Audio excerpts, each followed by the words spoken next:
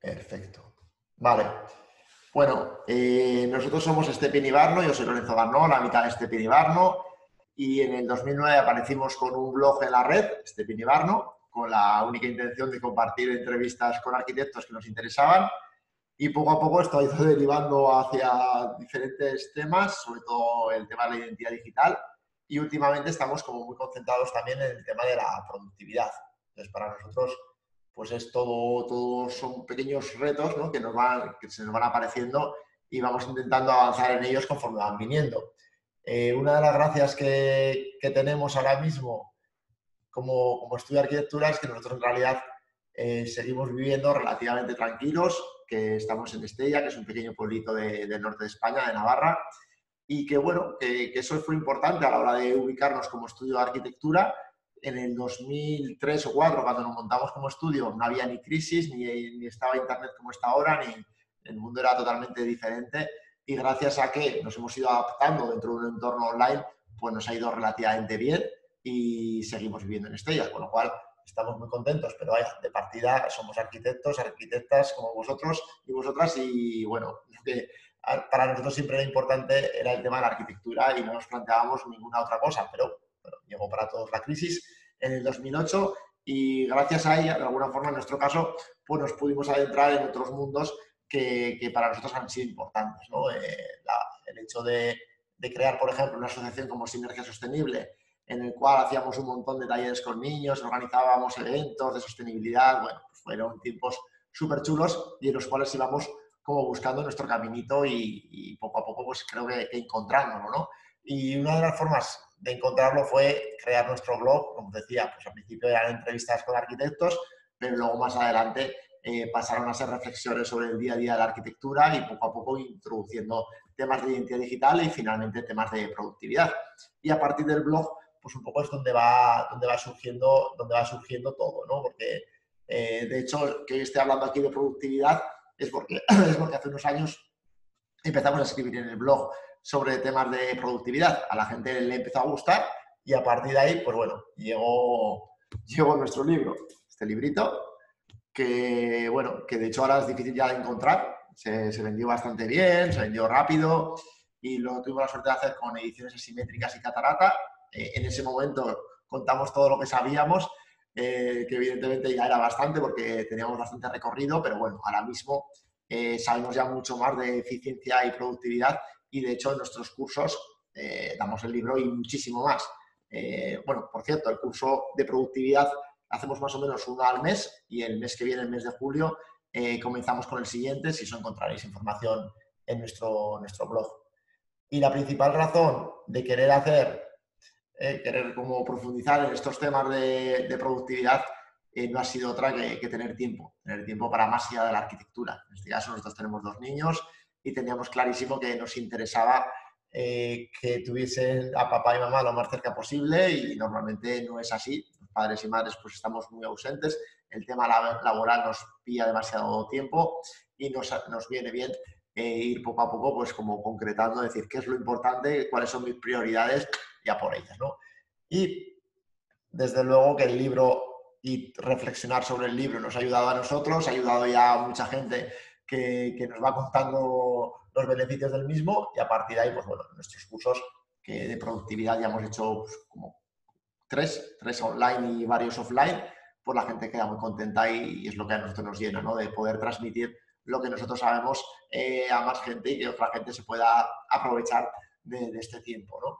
Eh, la charlita la vamos a hacer eh, como en tres partes, hablamos un poco de conceptos claves de eficiencia, luego profundizamos en herramientas digitales y finalmente eh, hablamos de, GTD para ver un poquito cómo, cómo, podréis orientar mejor para que no sea tan difícil. Porque muchas veces, como decíamos, GTD es un sistema potente, pero cuesta, cuesta. Así que nada, vamos al lío.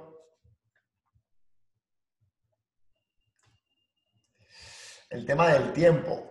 Eh, aquí concretar. Eh, nosotros nunca hablamos de gestión del tiempo, ¿vale? Siempre hablamos de eficiencia personal. El tiempo básicamente no se gestiona, el tiempo es el que es. Lo que gestionamos son prioridades y en última instancia nos gestionamos a nosotros mismos. Con lo cual es mucho más interesante entenderlo desde ahí porque en cuáles son nuestras prioridades y cuáles no lo son es donde nos la terminamos jugando y normalmente estamos bastante perdidos en, este tema. Para ello, a nosotros nos ha ayudado muchísimo el tema de los hábitos, tener claro eh, que el tema de los hábitos no es algo tan sencillo como, como nos cuentan, por eso precisamente los, los buenos deseos de, Año Nuevo nunca funcionan, porque hay varias claves que, mm, que si no las tienes más en cuenta, pues no funcionan. Os recomendamos muchísimo este libro de James Clear, que es Hábitos Atómicos. Es un libro brutal. Eh, atómicos en el sentido de, átomos, no de pum, eh, productividad atómica. No. De hecho, estamos bastante lejos de todo esto de productividad extrema. Eh, ¿Qué más hay por ahí? Ultraproductividad. No. creemos que esto va, por decir algo más, de productividad slow que de otra cosa, ¿no? De aprender a hacer un poquito más en un poco menos de tiempo y sobre todo hacerlo con, con más calma y desde ahí intentar hacerlo mejor, con más calidad y disfrutar de, las cosas, ¿no? que, es de lo, que, de lo que se trata. Entonces, eh, en este libro que os aconsejamos mucho, hay dos cosas que son muy importantes. Una es la, la importancia de ir cada día un 1%, mejor, un 1%. No, no ir a grandes cosas, no ponernos lo difícil, ir mejorando primero con los hábitos que no son naturales, que no son mías. Este casi lo consigo, me pongo y lo hago. Tener paciencia, no se pueden hacer varios hábitos a la vez, eso es una locura y decir, mira, me pongo con estos dos o tres como muchísimo y voy avanzando y cuando ya en un mes o lo que necesite, porque tampoco son 21 días, eso también es otra historia, en lo que necesite, pues ya tengo más o menos afianzado este hábito, pues venga, meto otro y cada día un poquito más. Y en este libro se incide mucho en la parte más personal, que a nosotros nos interesa bastante de cómo muchas veces, eh, por mucho que queramos ir hacia un hábito, eh, tenemos ahí metidos en la cabecita muchos introyectos y falsas creencias que nos hacen que eso sea relativamente difícil, con lo cual primero hay que como poner eh, los puntos sobre las is, en qué estamos cada uno, y cada uno tenemos una personalidad un carácter diferente y desde ahí pues vamos a tener más fácil acceder a determinados hábitos o a otros. En cualquier caso, para nosotros siempre es muy importante el tema de las sinergias. Siempre hablamos ¿no? de cuando nos preguntan, oye, y en estos más de 10 años en la red, ¿qué es lo que os lleváis? ¿Qué es lo que...? Bueno, está claro que el blog ha sido decisivo, que hemos compartido un montón de contenido, que ahora estamos con los podcasts, con YouTube, con las redes sociales a tope, pero si me tengo que quedar con algo, me quedo con las sinergias que se han creado. O sea, aquí yo pues, hemos interactuado muchísimo en, estos años, tanto online como offline, y gracias a eso han pasado un montón de cosas. Y cuando pasan un montón de cosas y tú estás en tu sitio y haciendo lo que realmente haces bien, cualquier cosa se, dispara y va muchísimo mejor. Así que por ahí eh, os animaríamos a, tener como muy, muy, claras ¿no? cuáles son vuestras fortalezas. Eh, no es tan claro ni tan fácil decir cuáles son mis cualidades personales y cómo se ponen en juego. Mm. El DAFO es una herramienta muy sencillita, os, os ayudará como a pararos a pensar, ¿no? Decir, venga, me voy a parar y realmente voy a ver eh, en qué estoy fuerte y cómo eso de lo que yo soy fuerte a un nivel personal se pone en juego más allá de mi día a día, es decir, se pone a juego en el entorno profesional. A partir de aquí, pues podéis eh, profundizar muchísimo. A nosotros nos gusta mucho este autor, Martin Seligman. Martin Seligman es el que hace el mapa de las 24 fortalezas, que vamos a ver un poquito ahora.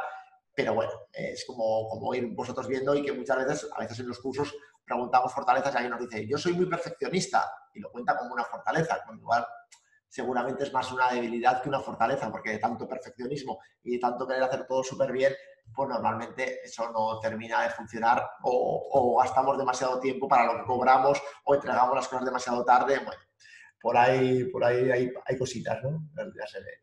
Simon Sinek eh, nos, nos, encanta mucho también esta cosa de vamos a tener claro el por qué o el para qué. Luego vamos a ver que nuestros cómo sean muy claros y luego ya veremos cuál es el qué. Yo ahora estoy haciendo este vídeo, cuando podría luego estar escribiendo un artículo y mañana grabando un podcast y al día siguiente haciendo un curso de no sé qué esos qué son importantes, pero no son tan importantes como el cómo, cómo yo cuento las cosas, cómo nosotros hacemos los cursos, cómo nosotros en nuestro curso le damos el protagonismo a los alumnos, cómo nosotros convertimos en facilitadores. Bueno, toda esta parte a nosotros nos interesa mucho. Y luego tener un para qué. En nuestro caso es tener clarísimo que, bueno, que en estos 10 años de este Pinibarno, pues hemos ayudado a muchos arquitectos y arquitectas a completar su formación.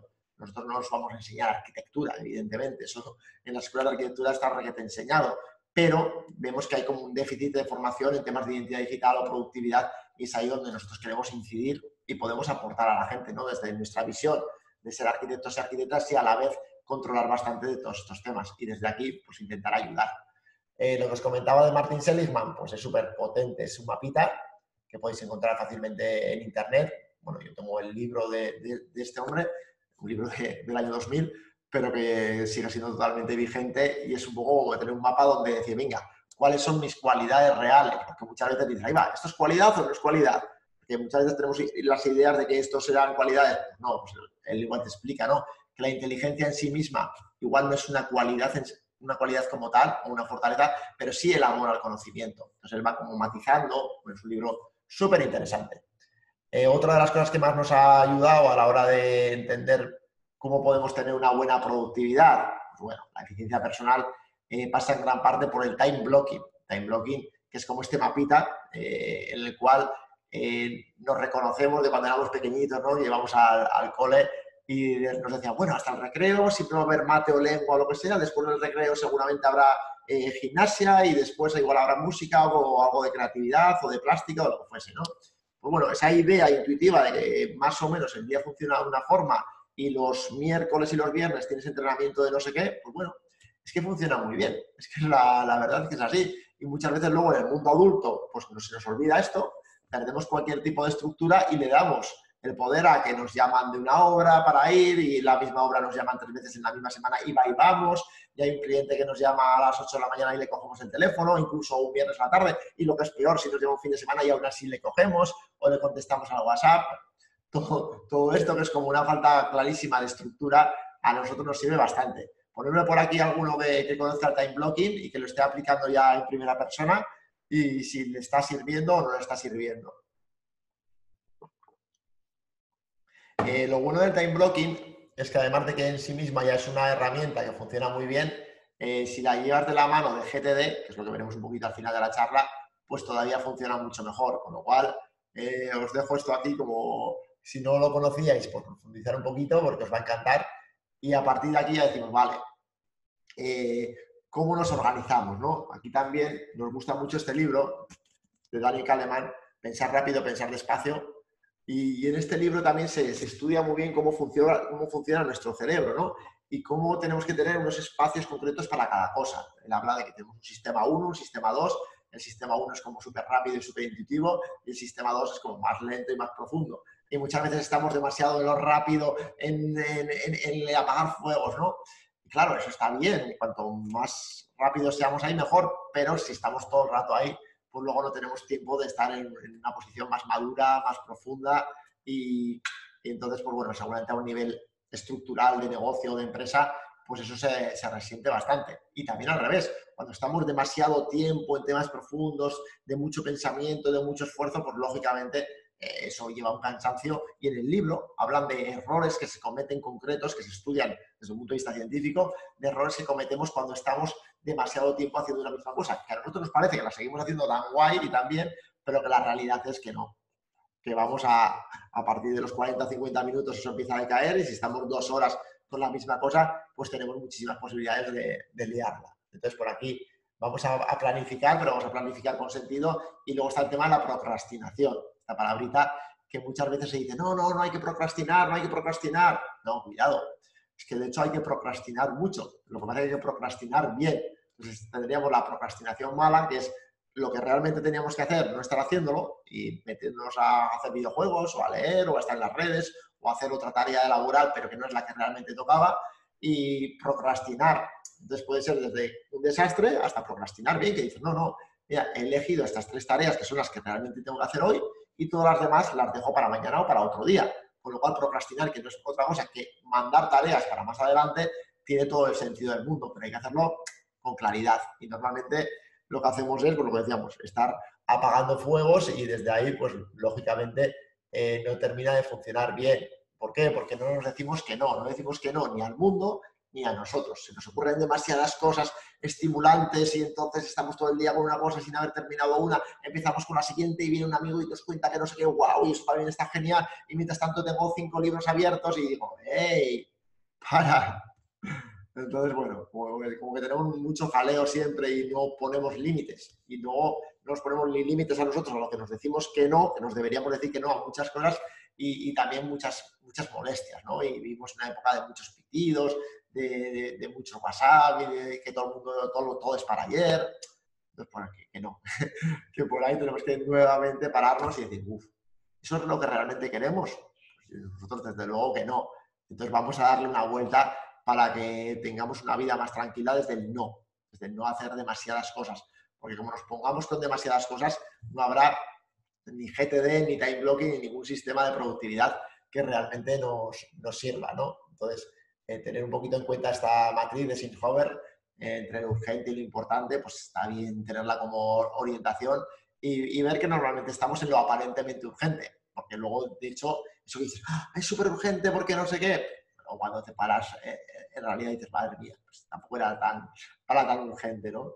Entonces, muchas veces es lo que se llama incubar las cosas nosotros tenemos claro las que vamos a hacer y luego ya decimos, mira, en nuestro caso, por ejemplo, es como más, o menos, es más complejo, pero más o menos hasta mitad de mañana hacemos las cosas que son súper importantes y no nos dejamos interrumpir por nada ni por nadie.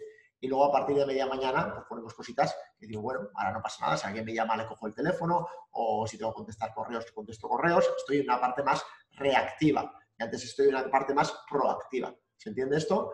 Eh, simplemente dividir la mañana así, normalmente ya es un antes y un después. En mi caso, además, pues tengo rutinas muy potentes desde el punto de la mañana, porque a mí me va bien para mi biorritmo, que no es que sea el mejor para los demás, ¿no? Para mí, levantarme a las 5 de la mañana me va perfecto y a partir de ahí hago mis rutinas y mis series y mis cosas y yo empiezo el día ya con, otro ánimo. Cuando algún día se me va la hora y me meto tarde y luego ya no me puedo levantar tan prontito, mm, ya yo digo, algo ya no va esto tan bien como quería. Y si ya eso se va dos días, que casi nunca pasa, eh, ¿qué es esto, no? Entonces, las rutinas, las rutinas es que nos sientan fantástico. Entonces, nuevamente, coger buenos hábitos, coger rutinas, cuantas más mejor, pero cogerlas con lógica e ir poniéndolas poco a poco, pues bueno, es como un antes, un antes y un después. En nuestro caso, pues sí que apostamos mucho por, empezar, empezar el día con, con cositas importantes que alguien dice, pues que no, mira, pues que yo es imposible que justo a primera hora hacer las tareas más importantes del día, imposible, tiene que ser, bueno, pues cuando tenga que ser, pero lo importante es que, tengamos ese espacio para decir, esto es importante, que puede ser en mi caso desde escribir un artículo, porque yo cuando escribo artículos tengo que hacer lo que yo llamo mi hora de oro, eh, hasta un día, pues no, en mi hora de oro no hago algo que me gusta mucho, hago algo que es muy necesario. Si tengo que entregar papeles del IVA, pues igual tengo que hacer la revisión de facturas y de no sé qué, que no me gusta nada, pero da igual, es lo que toca y como yo lo tengo en mi sistema organizado así, pues funciona bien.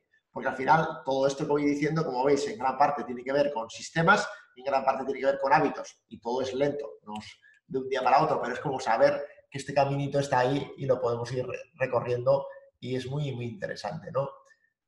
A partir, bueno, esto, esto de los ladrones de tiempo es que es, que es pararnos, ¿no? El curso hacemos mucho esto de los cursos de productividad que hacemos, como vamos a detectar cuáles son todos los ladrones de tiempo que tenemos, porque son muy locos, son muy locos de, pitidos, notificaciones, cómo dejamos que la gente no, nos invada, cómo no sabemos poner los límites y cuando los detectamos que no es tan sencillo ni tan fácil, pues bueno, desde ahí es también como vamos a, empezar a crecer, ¿no? Pero a crecer como positivo, ¿no? El, segundo bloque que os quería hablar es el tema de herramientas digitales. Ponedme por aquí si alguno ya usáis herramientas digitales tipo Trello, tipo Asana. Vale, hay muchos tipos de herramientas. Entonces, bueno, eh, ahora simplemente en esta pequeña charlita es daros como plumazos para ver si desde aquí os pueden servir, ¿no?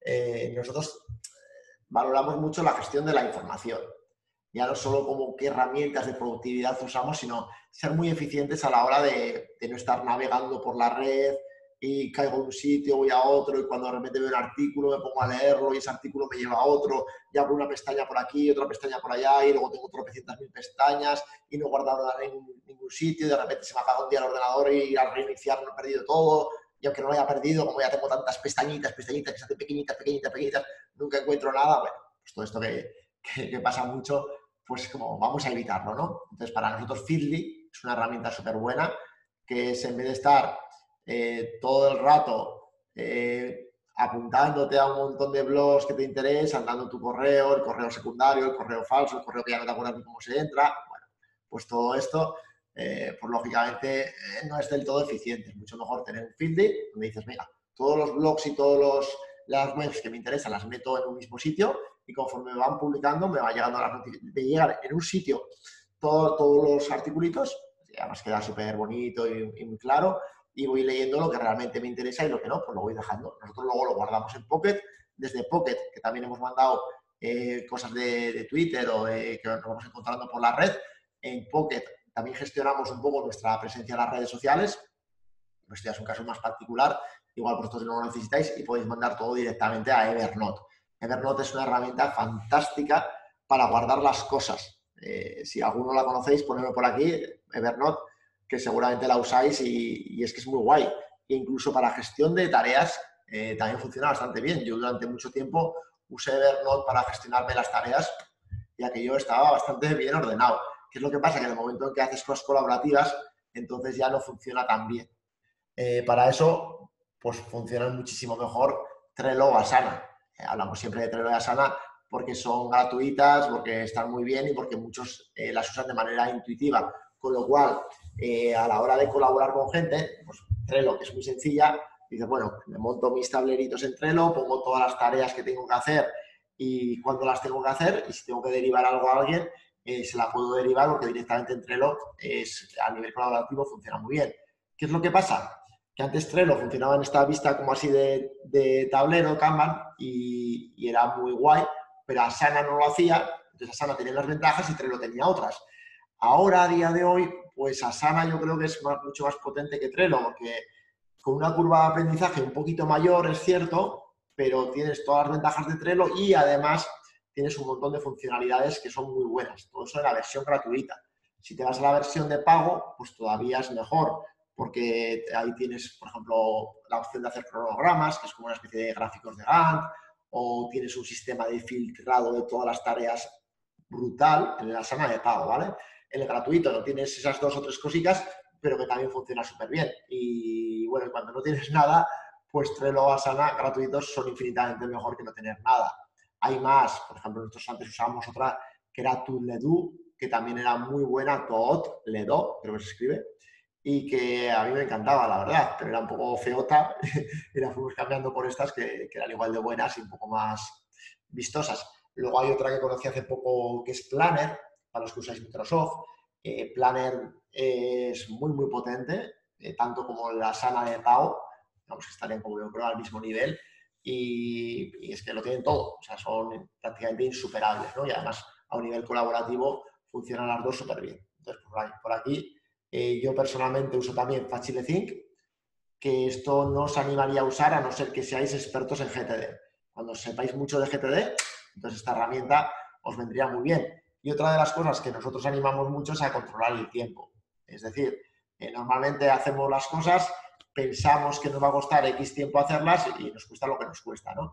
Eh, normalmente no acertamos nada, pero nada de nada. O sea, está científicamente estudiado que si miramos para atrás, el tiempo que creemos que nos han costado las cosas podemos fallar como un 30%, lo que pensamos que nos ha costado una hora será hora y 30 o lo que sea, y cuando imaginamos lo que nos van a costar hacer las cosas, pues el presupuesto en una mañana termino el presupuesto en dos mañanas, toda la, semana, todas las mañanas de, la semana.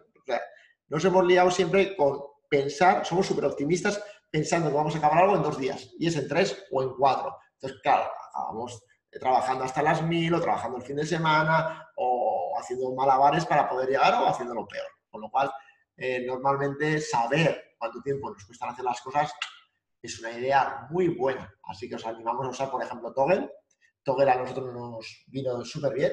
En su momento estuve mirando bastantes opciones.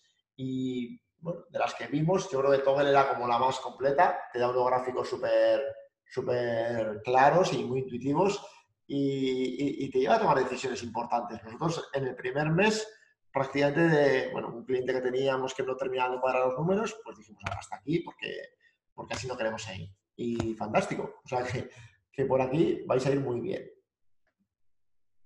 Y de lo último que os quería hablar hoy es el tema de GTD. GTD es un sistema de eficiencia personal que es muy potente. ¿Diría que es el más potente? Pues supongo que sí.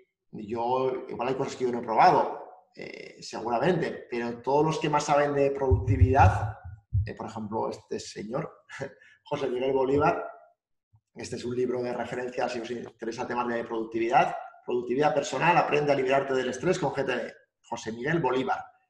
Es un libro de la hostia, pero va con GTD. Entonces, yo desde luego es lo que creo que, os animaría como a profundizar, ¿no? Eh, no es fácil, hay muchos blogs de productividad también que hablan de GTD, luego también están los muchos gurús que te hablan de su sistema de eficiencia personal y productividad, que normalmente te hablan de gestión del tiempo y mal, y te hablan de lo que a ellos les ha servido, que les ha servido a ellos y no te tiene por qué servir a ti. Entonces, la, gracia de, de, GTD es que es como un sistemita. Entonces, David Allen, que es el que lo inventó, el que lo parió, eh, lo que hizo fue estudiar cuáles eran las empresas más eficientes del mundo, vio qué es lo que hacían los responsables que estaban en esas empresas y detectó una serie de hábitos, una serie de patrones que son los que agrupó en su sistema de GTD, con lo cual digamos que tiene como una base casi, casi científica porque estudió muchísima gente ¿no? para llegar a esto. Eh, a partir de aquí decimos, bueno, eh, ¿por qué es un sistema? Porque no porque te no es una herramienta. De hecho, podemos usar, yo uso Think para usar GTD, pero ahora desde la versión de pago de Asana o desde Planner también podríamos eh, manejar todo desde GTD perfectamente. Lo importante es que tengamos como claro el concepto de, primero, capturar. Capturar y, vaciar. Eh, normalmente tenemos un montón de cosas que hacer y ese montón de cosas que hacer no, no están estructuradas. Es decir, tenemos una lista de correo, a veces tenemos muchos correos sin abrir, nos da igual, luego tenemos un montón de papelotes que apuntamos las cosas y, en varios papelotes, que algunos están por aquí y otros están por allá, luego dejamos cosas en sitios pensando que nos vamos a acordar de, hacer las cosas. Entonces, cuando hay tanta dispersión y otras muchas que no están en ningún sitio, sino que están ahí rulando en la cabeza, pensando que algún día me acordaré para hacerlas, pues es que el cerebro no es bueno para eso. El cerebro es bueno para la creatividad, es bueno para un montón de cosas pero justo para acordarte de lo que tienes que hacer en el momento que te toca hacerlo, no es especialmente bueno. A veces suena la flauta y dices, ahí va, me he acordado, pero muchas veces, si estaba ya y no me he acordado de hacer no sé qué, claro. Entonces, eh, GTD va un poco al revés. Vamos a vaciar la mente de todo, lo sacamos absolutamente todo fuera, lo dejamos en un sitio, todos los correos los transformamos en tareas o proyectos, todas las cosas que tenemos escritas las llevamos a un solo sitio. ¿Puede ser papel? Sí pero en principio es mucho mejor que sea digital, todo muchísimo más claro y más fácil, y a partir de ahí lo empiezo a ordenar. ¿vale? Entonces, para ordenar las cosas necesitamos tiempo, que normalmente no tenemos. Es decir, eh, normalmente estamos haciendo mil cosas y mil tareas a la vez, seguramente me estáis viendo este, seguramente no me estáis viendo, me estáis oyendo y a la vez que me oís estáis eh, chequeando el correo electrónico o haciendo no sé qué, que es lo normal, vaya, que es lo que es la multitarea habitual, pero no es lo que toca. Normalmente es mucho mejor estar a foco, si estoy aquí, estoy aquí, estoy con esto, si estoy con el correo, estoy con el correo, y a partir de ahí decir, venga, ¿cuándo aclaro las cosas? Si no tengo un tiempo para aclarar, y por eso time blocking es tan bueno, vamos a bloquear nuestro tiempo diario. cuando yo me organizo las cosas? En vez de empezar como pollo sin cabeza, con lo que el correo me ha llegado y luego no sé qué, y luego me llaman no sé quién, y luego me llaman de la obra y voy, no. Claro, a ver, ¿qué es lo que realmente me toca a mí hacer? Tengo este tiempecito, voy a ver de todo lo que tengo que hacer y voy a ver cuándo lo voy a hacer. Si no nos paramos, lógicamente, pues tenemos mil cosas para hacer y no sabemos cuándo hay que hacerlas. Esto que os decía de la prioridad, la base es tener estos ritmitos. Eh, para nosotros un buen ritmo de parar, eh, media hora todos los días y dos horas una vez a la semana. Luego, al final del mes, también volver a parar otras dos horas para recapitular.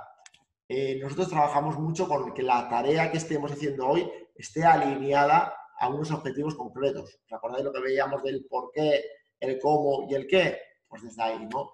Entonces, cuando yo hoy estoy dando esta charla y esto tiene que ver con mis temas de productividad y este pinibarno está totalmente orientado a esto, y además tenemos un curso de esto y todo queremos que vaya hacia aquí, ¡pum! esta tarea de hoy, esta acción, tiene mucho más sentido. Y recordar que en productividad eh, los proyectos no son los proyectos de arquitectura, evidentemente, son a partir de dos tareas ya es un proyecto. Se entiende muy bien con el tema del dentista. Si ahora a mí me duele la muela, digo, oye, qué dolor de muela tengo, ¿qué hago, qué hago, qué hago? Bueno, eso ya lo traduzco en un proyecto, porque por lo menos voy a tener que llamar al dentista para pedirle hora voy a tener que ir al dentista y seguramente igual tengo que comprar alguna medicina o lo que me mande el dentista, ¿no? Incluso si me tengo que desplazar, pues tener que ir, no sé, con el coche, para aquí, para allá. Entonces, todas esas pequeñas acciones son el proyecto de resolver mi dolor de muela. Lo podemos llamar como queramos, da igual. Pero que sepamos que, hay que verlo un poco así. Entonces, cuando empezamos a ver que tenemos que organizar las cosas, que tenemos que vaciar la mente, que tenemos que tener esos espacios para poderlas organizar y luego tenemos las listas, la cosa ya va cambiando. Entonces, vivimos en tiempos muy líquidos, todo es muy incierto, entonces tener un sistema que nos dé un poquito de, estabilidad, de entereza, de confianza, de que nuestro cerebro se fíe de nosotros, porque si no acabamos siempre escribiendo un montón de cosas en la agenda y ponemos el lunes tal, tal, tal, tal, tal, tal, tal. Y luego todas las tareas son las que se convierten en tareas saltarinas y no tienen mucho sentido porque al final van, van moviéndose y nuestro cerebro que decía, nuestra parte inconsciente que dice, espérate, tú me habías dicho que ibas a hacer todo esto hoy, pero vaya no lo has hecho. La parte consciente piensa, súper optimista, estas 10 cosas. Esas 10 cosas cuestan mucho más tiempo de lo que tú habías pensado, con lo cual no las vas a hacer. Entonces la parte inconsciente dice, hey, otra vez has vuelto a fallar, todo se te ha vuelto a ir y las tareas se convierten en tareas saltarinas y entonces nuestro cerebro no se fía de nosotros y acaba siendo eso un, uno parar de escribir cosas y no hacerlas. Con lo cual la agenda desde GTD solo nos lleva a apuntar las cosas que son realmente importantes. Es decir, las citas, las reuniones. Si no tenemos ese sistema bien organizado en la agenda, acaba siendo aquello cualquier cosa. Entonces, las citas y las reuniones sí que van en la agenda, ¿vale? El resto de cosas van en las listas y las listas las ordenamos en función de los contextos. Entonces, ¿cuáles son los contextos en GTD? José Miguel Bolívar lo explica muy bien en el libro, ¿vale? Eh, los contextos en GTD vienen a ser eh, cómo, agrupar y separar cosas, digamos. Eh, cuando tengo una cosa muy grande es muy difícil abarcarla. Eso para mí es una tarea, pero en realidad es un proyecto o varios proyectos. Entonces es mejor, ¡pum!, dinamitarlos eh, hacerlos en secuencias pequeñitas, pequeñitas, es decir, acciones muy pequeñas, eso que era una cosa, de repente el presupuesto, no, el presupuesto, pum, lo dinamito. Voy a hacer primero la parte de no sé qué, o voy a derivar el presupuesto a otra persona, o voy a analizar no sé qué cosas de las carpinterías antes de ponerme con el presupuesto. Pues venga, cada acción concreta son las que tengo que tener súper claras a la hora de poder agrupar. ¿Por qué? Porque igual, por ejemplo, en, en varios proyectos tendré que llamar al cliente. Vale, pues en vez de llamo a las 11 de la mañana a un cliente, luego a las 12 a otro cliente y mañana a las 11 a otro cliente, digo, no, ya, me agrupo las, según las llamadas que tengáis que hacer, pues igual, si llamáis mucho, pues venga, después del café de media mañana es cuando mi ratito de agrupar y de llamar. Entonces, todas las tareas de diferentes proyectos tendrán un hashtag, como queráis llamarle, una etiqueta, un contexto, en el cual pongamos llamadas. Entonces dices, te vas a tu ordenador, te vas a tu aplicación y dices, hola al móvil, llamadas, pum, y te sale llamar a Pepito, llamar a Juanita, llamar a no sé qué, y tú vas llamando. Entonces, la has agrupado en un contexto.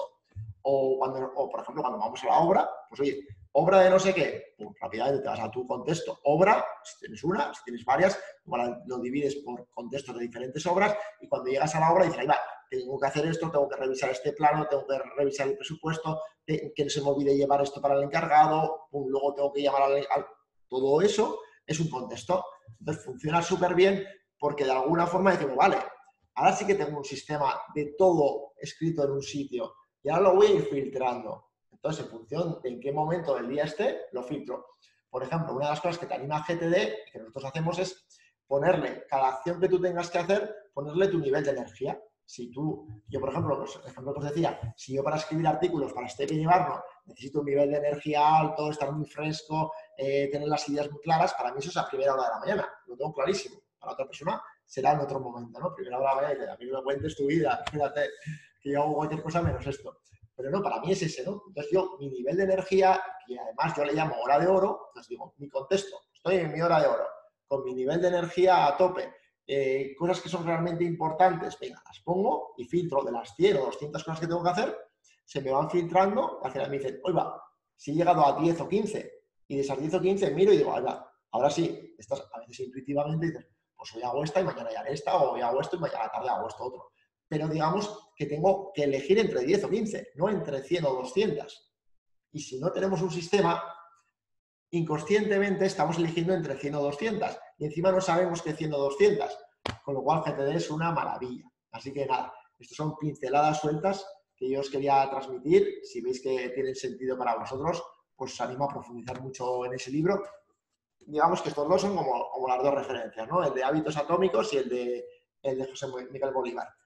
Hay muchos más libros de productividad que nosotros hemos leído, pero luego también hemos profundizado mucho en los blogs. Si escribís blogs de productividad, pues vais a encontrar bastantes que están bastante bien. Entonces, por ahí también tenéis caminito para andar. Entonces, bueno, todo esto era un poco lo que os queríamos contar eh, de nuestra experiencia o de lo que para nosotros es más importante a la hora de tener una eficiencia personal. Ya veis que estamos hablando de cosas personales que te sirven a ti. En nuestros cursos de productividad ya metemos también conceptos de cómo organizarnos mejor en estudios de arquitectura. Luego, claro, como viene bastante gente a los cursos, pues lógicamente desde ahí uno cuenta su experiencia, otro cuenta otra experiencia.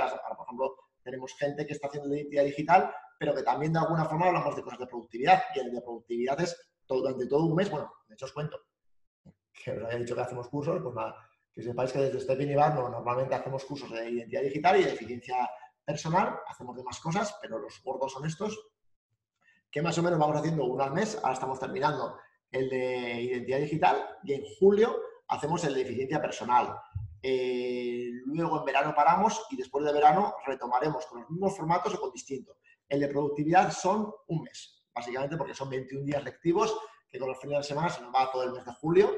Es bastante intenso. Eh, o sea, podéis seguir trabajando del día a día normal, estas ocho horas como arquitectos o arquitectas, pero luego necesitamos dos o tres horas de concentración en el curso, con lo cual, si podéis bajar un poquito la jornada laboral durante ese mes, pues os será mucho más fácil de seguir el curso, porque es mucho más potente de lo que os podríais imaginar si entráis en los testimonios del curso podéis flipar de la gente lo que cuenta, de, lo que se lleva, la intensidad con lo que lo vive, las sorpresas que se llevan.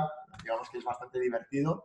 Y nosotros nos vemos como muy enfocados ahí porque sabemos que es realmente útil y a la gente le, encanta. Entonces, pues bueno, que sepáis que por estar viendo este, este vídeo, esta charla, pues el curso que cuesta 400 euros, se os quedan 200, simplemente nos escribís un, un correo a blog arroba promoción masterclass, y nada, estáis, estáis dentro si os apetece y va a ser una experiencia muy chula, seguro, y muchas veces se convierte en un antes y un después, porque un mes da para mucho, da para mucho y se producen cambios realmente profundos en, en el día a día de la gente. Y al final, aunque luego solo seamos una hora más eficientes todos los días y tengamos una hora más para nuestras aficiones, para nuestros niños, para lo que sea, y encima vivamos un poco más tranquilos, pues ya me diréis si vale la pena o no el esfuerzo.